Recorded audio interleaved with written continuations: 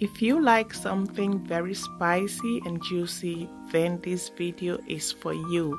If you always host friends at home, and then this video is also for you.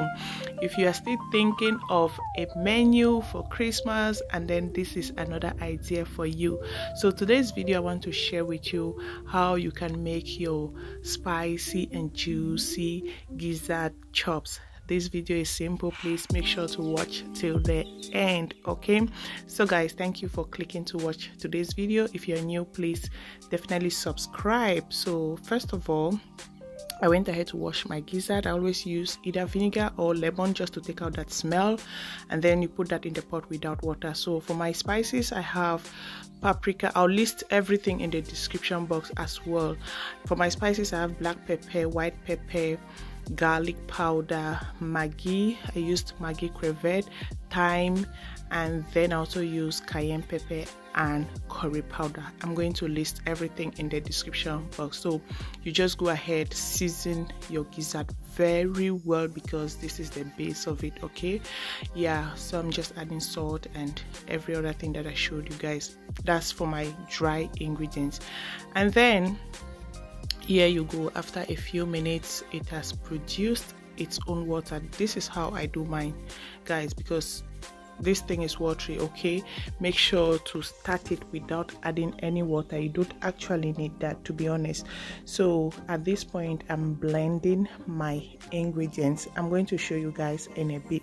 For my wet ingredients i just used garlic ginger and onion. Not forgetting pepper habanero pepper. So if you don't want it too too spicy you can skip that part because you already have cayenne pepper which is also spicy you know? It's hot. Yeah. So i'm just putting a little quantity of vegetable oil just to give it that shine. You want to see your gizzard chops looking shiny and shiny and not dull okay? It's supposed to be attractive. So go ahead and taste if your maggi and salt everything is okay you guys can see yeah it wasn't that sweet sweet for me so i decided to add just maggi. I actually prefer to use more of maggi than salt you know for health benefits you know yeah. So after a few minutes yes this is what my gizzard is looking like. It's already dry. You can see no water. At this point go in with your veggies. I just like to keep it simple because i don't want it to look like stew. So i'm using just yellow bell pepper and onion. You can go ahead and use all the colors of the bell peppers okay? You can use green bell pepper red bell pepper or and yellow bell pepper. I just want it very very simple. That's why i used just the yellow bell pepper and the onion. Okay at this point the aroma everything hmm. this this kitchen my husband was waiting. He kept coming in babe can i taste? Can i taste? You know what i mean? So guys let me know where you are watching from please. At this point you should give this video a huge huge thumbs up.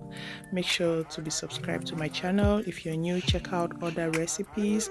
Go to my playlist. You find so many. Do you cook when you chop? Do you cook without tasting your own food? No sometimes it's very very irresistible. Not sometimes. I have to taste what i'm cooking girl i have to. So after a few minutes this is my dessert.